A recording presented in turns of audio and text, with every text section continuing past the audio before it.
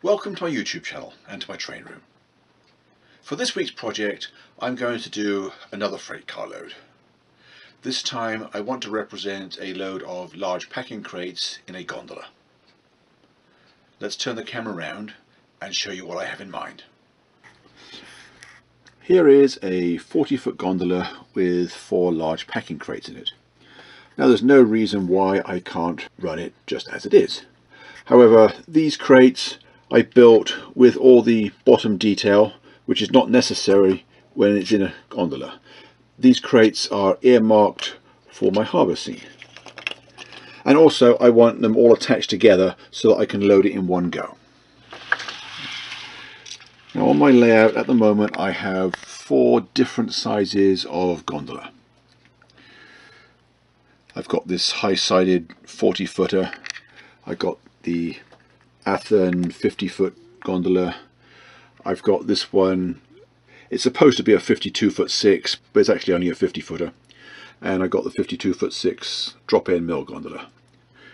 Now this Rock Island car is the same length, but slightly narrower than this Athearn car.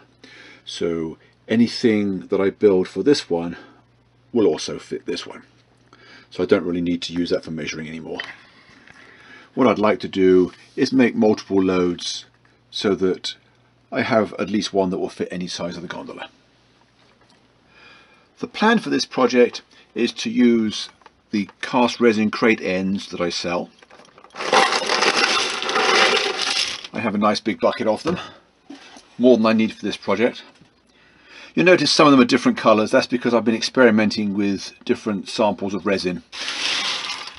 They're pretty much interchangeable, so I'm not even going to concern myself with what colour the ends are. They're going to get painted anyway. There are five different sizes of end in this pile, and I can make the crates as long or as short as I want to just by using more or less styrene between them. Well, I've cleaned up a whole load of crate ends. I've done a lot more than I actually need. The next thing to do is to figure out how wide the crate should be. Now, I've already determined that these two gondolas are narrower than all the others. So if they fit in here, they will fit into anything. Okay, that one is a little under 30 millimeters wide. This one is bowed in and it's only about 29. It's 30 at the ends. So if I go for a load that's no more than 29 millimeters wide, I know that I'm not going to have any trouble with any of the cars. I have here a sheet of Evergreen V-Groove um, scribe styrene. It's uh, eighth inch spacing. And when I made the patterns for the ends, I scribed them at an eighth of an inch with this in mind. So that if I got lazy and I didn't want to make my own scribe styrene, I could just buy it. I doubt this is going to be enough, but I do have a much bigger sheet as well. I'm just going to use this first though. And for the bracing, I'm going to make my own. I checked in my supply of strip styrene and I don't have a lot in the right size. So this is a sheet of 20 thou styrene, which approximately equates to 2 inch dimensional lumber in HO scale. I don't need the bracing just yet. First thing I need is to lay out my sheet to get the best usage with minimal waste. Well, I've decided that the majority of my crates are going to be a scale 8 feet wide, which is 28 millimeters, a little bit narrower than the width of the narrowest gondola. So they'll be nice and loose. I won't have any problems with, uh, with tight fits. I get two rows of the tall crates I get a row of lids for the tall crates and then I get a row of sides for a medium crate and a row of sides for a short crate with no wastage.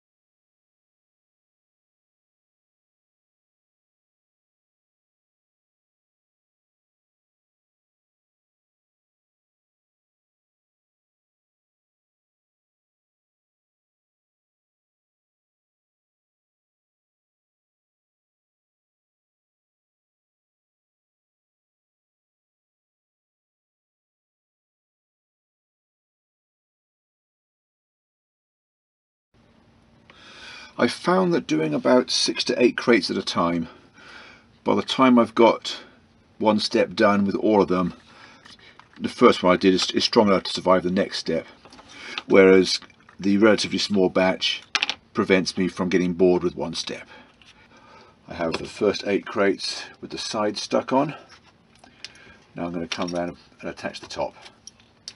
And I just remember why I hate using this kind of glue because it's just it sticks everything strings all over the place and I end up in a big mess.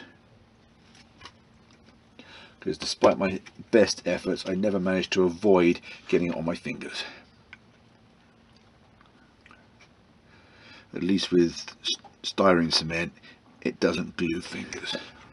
Now when I laid out the ends originally I made sure that they were the right width for the top to be a whole number of planks wide now at the moment it's only getting glued on the on the two sides. I will come back and do the styrene to styrene joints later with solvent. I don't know if you can see it in the back of the picture. Each crate has a lid laid out in front of it. That's because I cut two sides and a lid from each strip of styrene and I kept them all together ensuring that all three pieces are exactly the same width because they came from the same strip.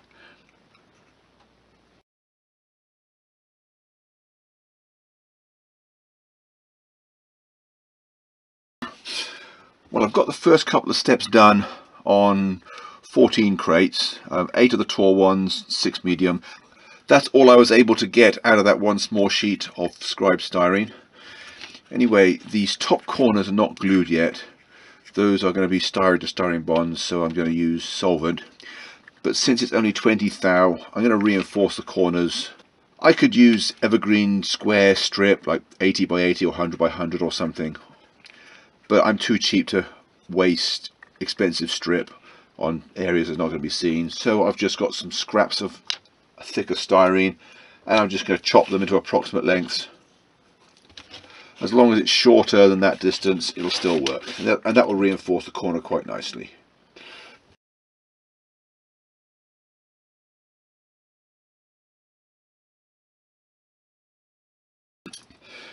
Now before I can start adding the rest of the bracing, some of them need a little bit of cleaning up around the edges, where I assembled them less than perfectly.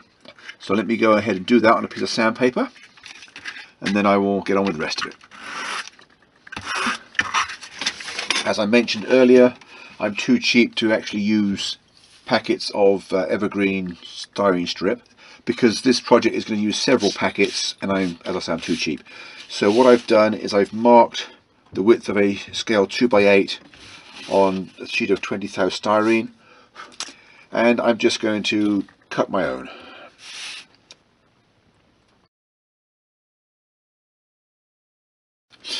Well I've cut a whole load of scale 2x8. Some of the strips have a tendency to curve when cut with a knife but that's okay. It's easy enough to straighten them up on the model as I'm gluing them. Now there are several different bracing patterns that would make sense. So I could have quite a bit of variety if I want to, even in the same, same size crate. But since I want these to look as though they were all made by the same manufacturer, I'm going to stick with the same bracing pattern throughout. And what I think I'm going to do is put corner pieces around the sides and the top and a single diagonal on each of the three surfaces. This is one of those cases where it's easier to cut the pieces oversized and then trim them after the glue is set. So what I'm going to do is measure the top pieces need to be a little over 30 millimeters. Well, 30 will work, so I'm going to do them around about 31 or 32, just so I know that I've got enough. So let me get a good supply of those.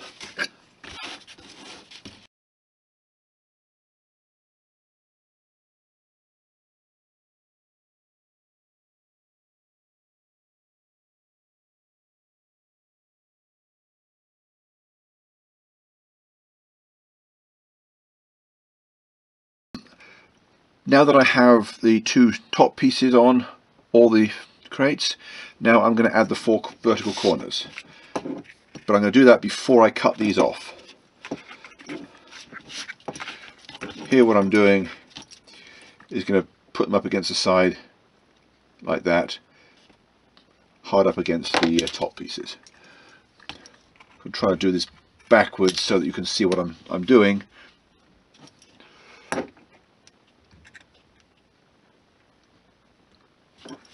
There like that.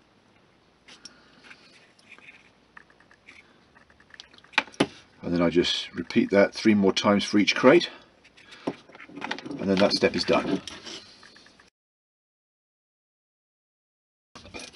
So now after all the crates are looking like this with all six pieces on it's time to come back and tr trim the edges off first starting with the four corners at the top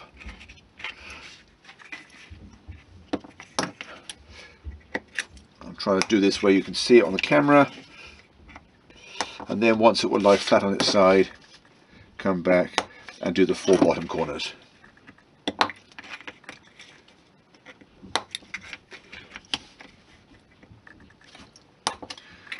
And then that's that step done. Let's get them all to that stage and I'll come back and do the diagonals. The last construction step is to do the diagonals this is a little bit more complicated because we have to cut each piece the right size to start with. Let's start by cutting the angle on the end. Put it where it needs to go. And mark it.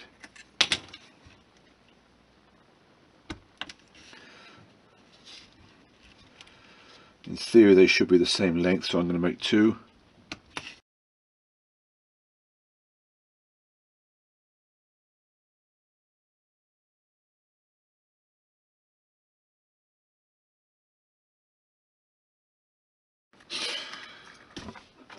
Well that's these two sizes made.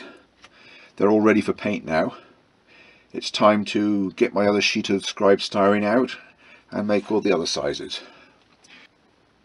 One thing I might uh, point out is that although these crates are all fairly close, there are some minor imperfections and that's perfectly okay because after all your average packing crate is generally put together with a lot less care than are the contents.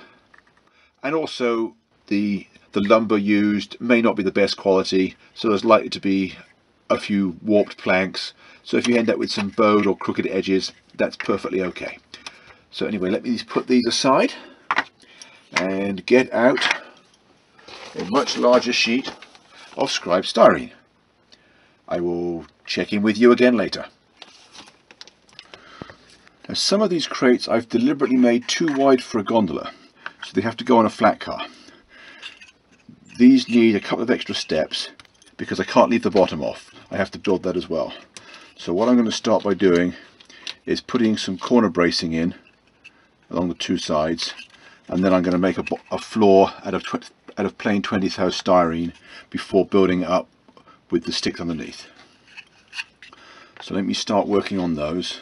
I've just cut some strips. I cut these out of 60 thou styrene. That should give enough gluing area. I'll need that later. But for the time being, I just want strips that I know will fit in they need to be approximately an inch and a quarter so they go most of the length of the crate without being tight.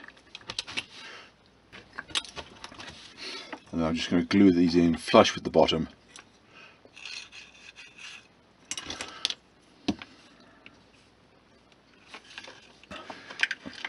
when that's set up I'll just sand it lightly and then glue a bottom on it.